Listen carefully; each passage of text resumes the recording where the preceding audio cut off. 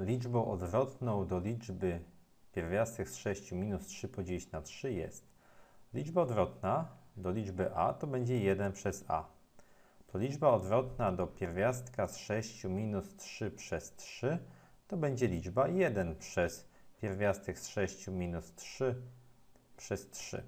A my wiemy, że dzielenie to jest mnożenie przez odwrotność, czyli to jest to samo co 1 razy odwrotność tego, co jest na dole, czyli 3 przez pierwiastek z 6 minus 3, czyli odwróciłem tę liczbę w mianowniku.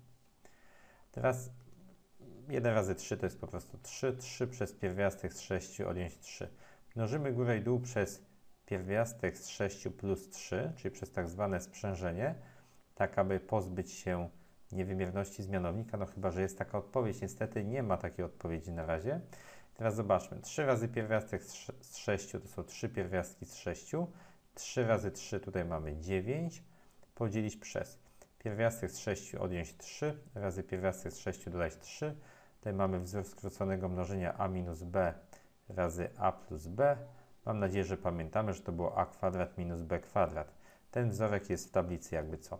Czyli mamy a kwadrat, czyli pierwiastek z 6 do kwadratu, odjąć 3 do kwadratu, korzystając z tego wzoru. Czyli co mamy dalej?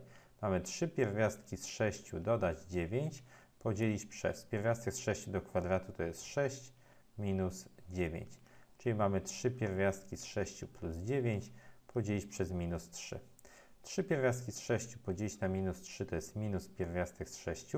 9 podzielić na minus 3 to jest minus 3. Mamy minus pierwiastek z 6, minus 3, czyli odpowiedź B.